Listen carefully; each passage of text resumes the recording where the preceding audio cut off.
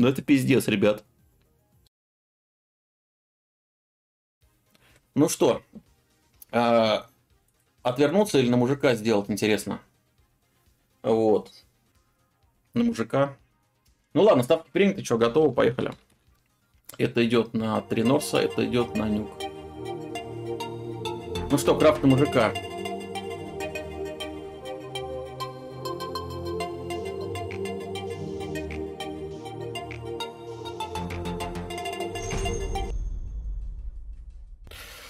Да, это плохо.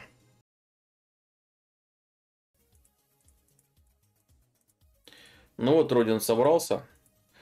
Ну, короче, парни, крафт будет такой вот. Самое неинтересное, самое скучное, это вот эти два скина из коллекции Sport 2013. На них больше всего процентов. То есть это Калаш и P90. Это очень скучные скины, вообще очень скучные. Что из коллекции вот этой? Это eSport 2014 с зеленого кейса, вот эти 5 скинов.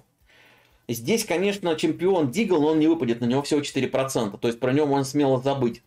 Из коллекции eSports 2013 с красного кейса может выпасть вот такие три скина. Самое здесь неинтересное это вот это пятно.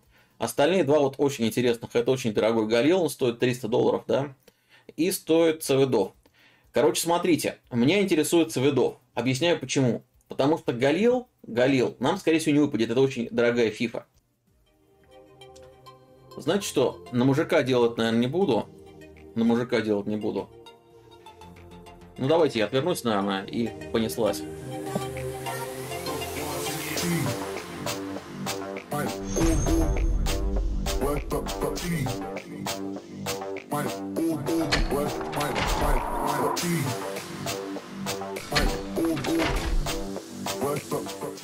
Ладно, все. Успокойся, Федь. Поворачивайся, давай.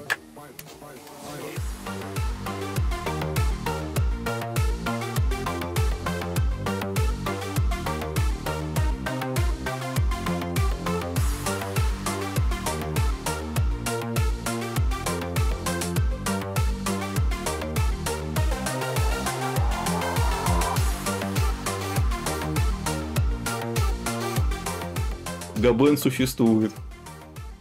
Но это пиздец, ребят. Это 300 баксов. Без флота. Это просто тупо 300 бачей.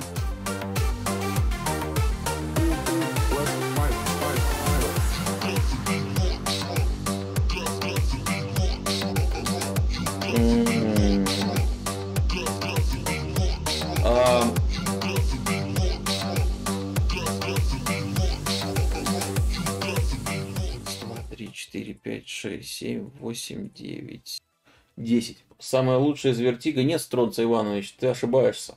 Здесь скинчики-то поинтереснее, чем из Vertigo есть. Самое лучшее это из коллекции Overpass. Это будет топ.